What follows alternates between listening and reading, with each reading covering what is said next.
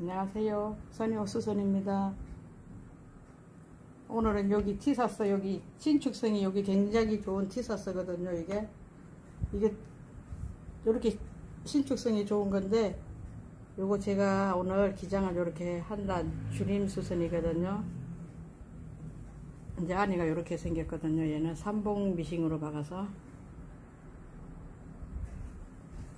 요거를 뜯어서 이렇게 기장을 한 단 줄여 보겠습니다.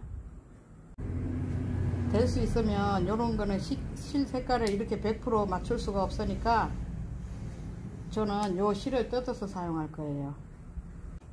이걸 이렇게 뜯어서 사용을 하면 수선한 티도 안 나고 제가 요거 좀 자주 써먹는 방법이거든요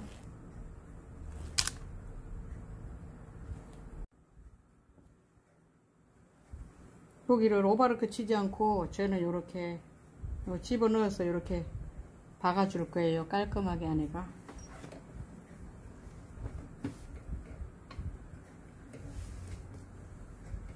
그런 거는 천들이 너무너무 섭한이 좋아서 이게 박기가 잘못하면 좀만 잘못 박으면 얘가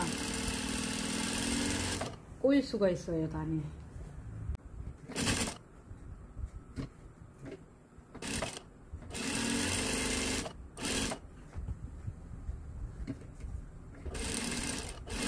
얘는 좀 땀수를 좀 쫀쫀하게 해서 이렇게 늘어놔도 이게 실이 끊어지지 않거든요. 이렇게.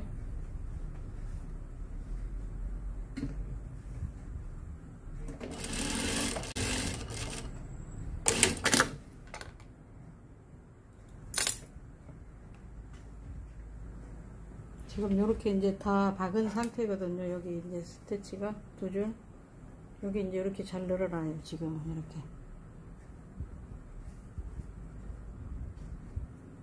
안에도 이렇게. 말아봤고 하니까 이 시접이 깨끗하게 이렇게 됐거든요 이렇게.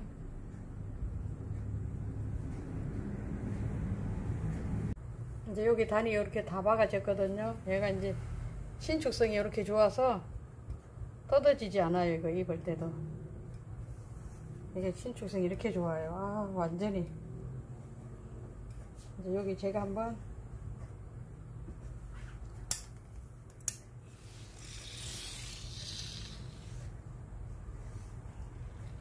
요 한 단 요렇게 깨끗하게 아까보다 요 깨끗하죠 시접 정리가 이렇게 되니까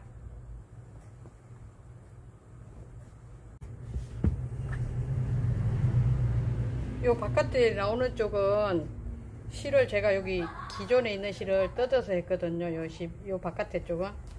요 안쪽에 있는 실은 있는 실로 했는데 실 색깔이 거의, 거의 똑같아요. 이렇게.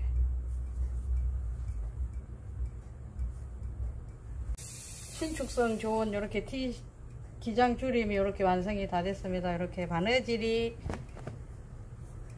스태치가 이렇게 예쁘게 나왔습니다. 이렇게. 안에도 이렇게. 제가 시접을 넣고 하니까 시접이 안쪽이 이렇게 깨끗해요 이렇게.